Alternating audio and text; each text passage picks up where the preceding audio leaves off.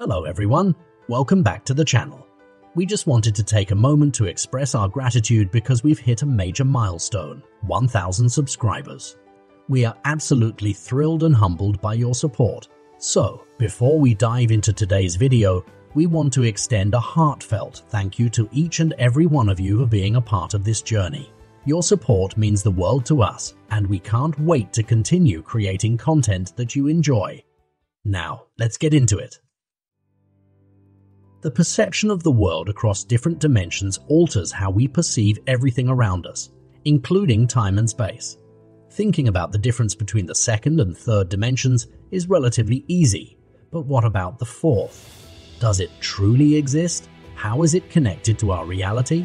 And what fascinating possibilities does it offer? Hello, dear friends.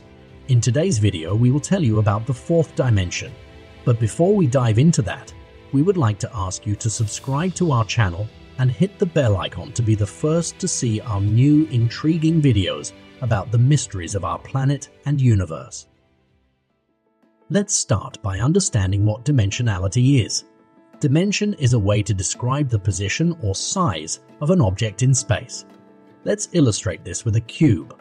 In the zeroth dimension, our cube would be represented by a stationary point in space. This point has no length, width, or height, only position. Transitioning to one-dimensional space, we get a line segment. Objects existing in this space can only move along this line. They have no width or height. Now, let's clone this line segment and connect the vertices. We get a square. This is two-dimensional space with length and height.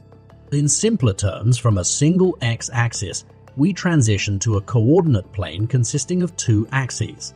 Now, all objects existing in this space can move left and right, as well as up and down. Let's add another coordinate axis, z, perpendicular to the other two axes. We enter three-dimensional space, which, by the way, is where we live. From the square, we obtain a cube, with length, height, and width. Like everything in the universe, we can move along all three axes left and right, up and down, forward and backward.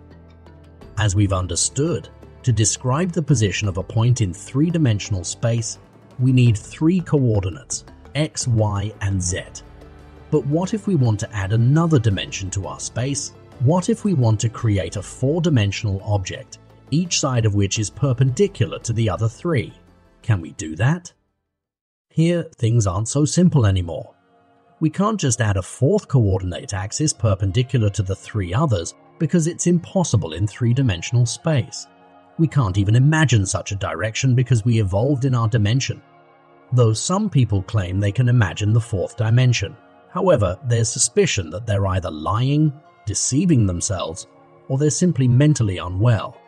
But even though we can't see or imagine the fourth dimension, we can feel it. The flow of time from past to future is a kind of dimension as well.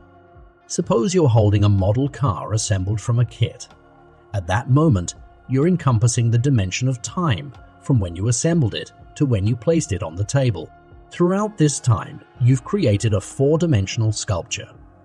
Physicists unify three spatial dimensions, our x, y, and z, and one temporal dimension into a single space-time picture.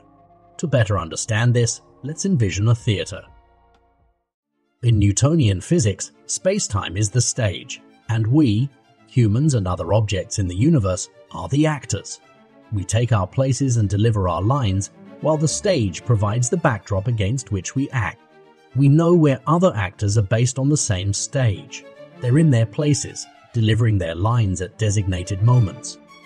But in the theory of relativity, the stage itself becomes the main actor, its name illuminated on the marquee. To make the theory of gravity compatible with the relativity of space and time, Einstein realized that gravity isn't a force at all, at least not in the way Newton envisioned it. Space-time isn't a fixed stage, but a flexible membrane permeating all existence. Space-time bends and warps under the influence of mass and energy within it. The curvature and warping of space-time, in turn, affect the motion of mass and energy, causing them to follow curved trajectories. Thus, we see that space-time is not just a stage, but a dynamic and active participant in everything that happens in the universe.